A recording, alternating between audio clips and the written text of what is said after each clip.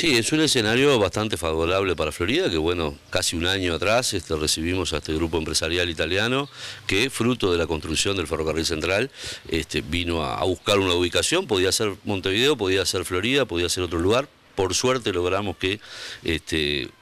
entendieran que Florida era un lugar importante. Ayudó mucho que el obrador principal del ferrocarril va a estar instalado acá, pero ayudó mucho también la actitud de los propios directivos de la Asociación Rural de Florida que eh, sin interés monetario este, mostraron los lugares este, y, bueno, y se dieron en comodato y ceden en comodato ese predio de 5 hectáreas allí en, una ubicación muy especial, además en la entrada de Florida, un lugar muy valorado y que ojalá pueda tener mucho desarrollo como polo industrial allí. Hay otros emprendimientos que la propia Asociación Rural también está intentando que se radiquen allí. Este, y bueno, la verdad que con alegría hoy, este, después de muchas vueltas, de mucho trámite, de muchas cosas, finalmente esta empresa fue la que este, fue aceptada, su proyecto porque también eh, había otras empresas en competencia. Esta empresa italiana es la que fue aceptada y va a estar instalando esta fábrica.